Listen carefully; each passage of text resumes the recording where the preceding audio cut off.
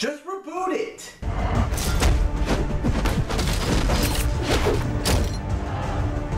Thirty-eight of New York's finest versus one guy in a unitard. If you want the truth, Peter,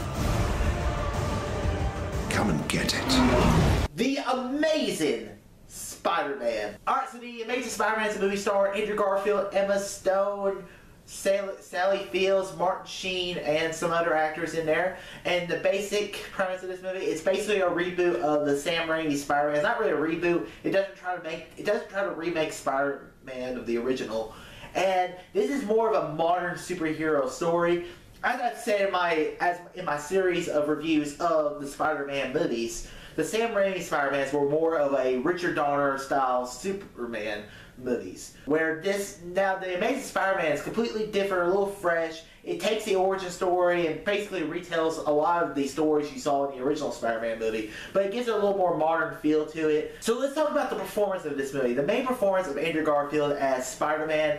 I like Andrew Garfield as an actor. I think recent I think some of his some of his movies really I love. Like we, if you talk about the Social Network, I thought he was amazing in the Social Network, and we just talked about recently Hacksaw Ridge and Silence. I mean, Oscar worthy. Oscar worthy. Should have won the Oscar. And the, the Amazing Spider-Man, his performance as now, as I said with the with Tobey Maguire's Peter Parker as Spider-Man, I thought Tobey Maguire played a really great Peter Parker. I thought he was lacking in the Spider-Man department. Now, I'm reversing that. Andrew Garfield, I think, is a amazing Spider-Man.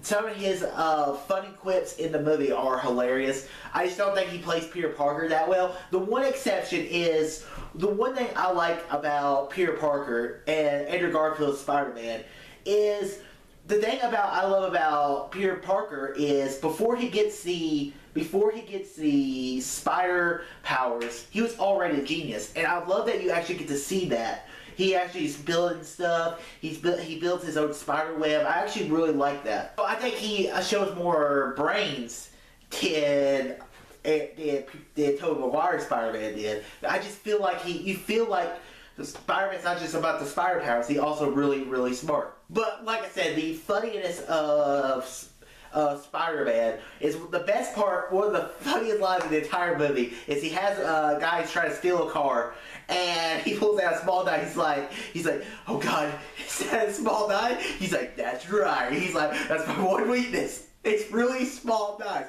Yeah, just let me kill. And just like it's just that's just a funny moment, and I think, uh, like I said, his portrayal as Spider-Man is really good.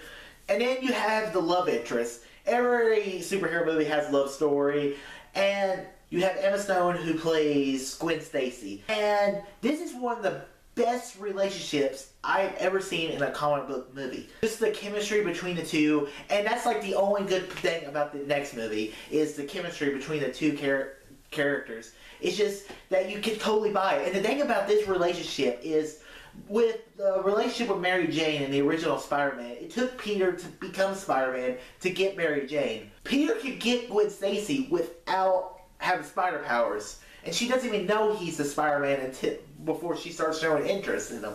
So it's a, a, a little more. It's a better relationship. The villain is the villain is Kirk Connor, otherwise known as the as Lizard as the Lizard Man or the Lizard or however the whatever the villain's name is in the comic books.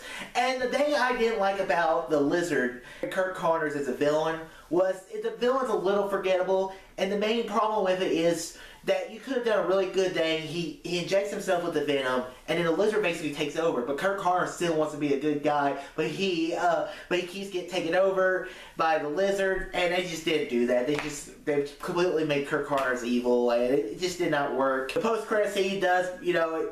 Tries to introduce like the Sinister Six in the next movie. I'll get to that and the failedness of that. But I really think The Amazing Spider-Man is a really great reboot of the original Spider-Man movies, of the original Spider-Man movie. The origin story it basically retells the origin story. Martin Sheen, I really like him as Ben Parker, and I really, really like, I really, really like The Amazing Spider-Man. I'm going to give The Amazing Spider-Man an A. So guys, have you checked out all my Spider-Man reviews so far? Make sure you check them out. I'll have the, my annotations of Spider-Man 3 and Spider-Man 2 over there. I'll have my final review of The Amazing Spider-Man, my Spider-Man series in a couple weeks when I talk about the one that killed the franchise. So guys, have you seen The Amazing Spider-Man? What are your thoughts? Comment below, let me know. And guys, if you like this video, click that thumbs up button, subscribe to see more, and tell your friends about Easy Nation. All too easy. I am not throwing away my shot. I am not throwing away my shot. Hey, yo, I'm just like my country. I'm young, scrappy, and hungry.